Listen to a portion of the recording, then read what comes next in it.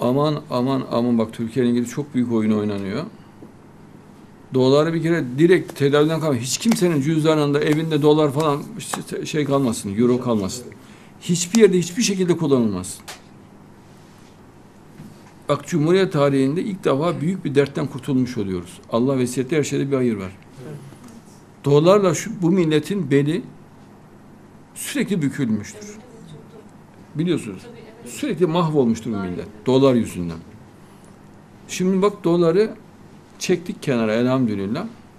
Millet feraha doğru gidiyor. Tamamen çekelim. Hiçbir yerde dolar kullanılmaz. O gün söyledim kiralarda falan kullanılıyor dedim. Kiralarda da kaldırdılar. Devletin diğer birimlerinde kullanılıyor dedim. Oralarda da kaldırdılar.